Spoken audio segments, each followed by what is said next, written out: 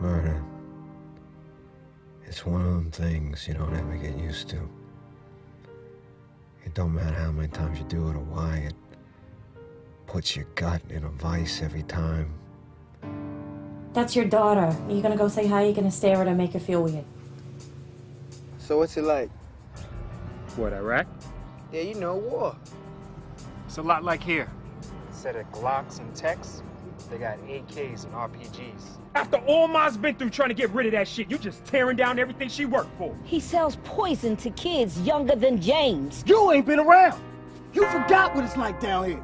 It's because of what I do that decent people are still able to live here. I provide what the cops can't. You know what this block would be without me? I don't want this, not no more. Believe me, Tommy, what I do here, it's a necessary evil. Nobody take better care of this neighborhood better than I do, man. I brought you up, I took care of you, I took care of your family. I had a sick daughter and you weren't here, so don't dare tell me what I should have done.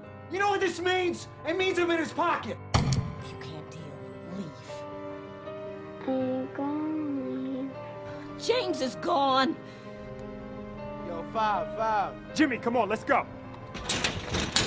Shot, come on, man. Chill, you my brother, man. You think this shit makes you tough? You think this makes you a man? You know my brother Jimmy. Me, yeah.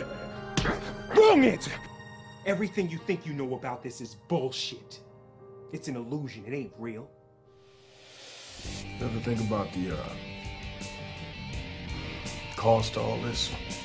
What did you do, huh?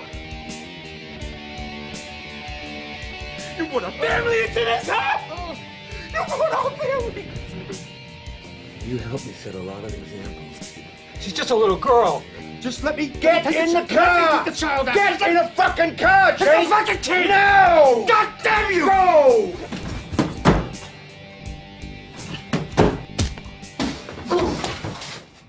May God forgive us for our actions.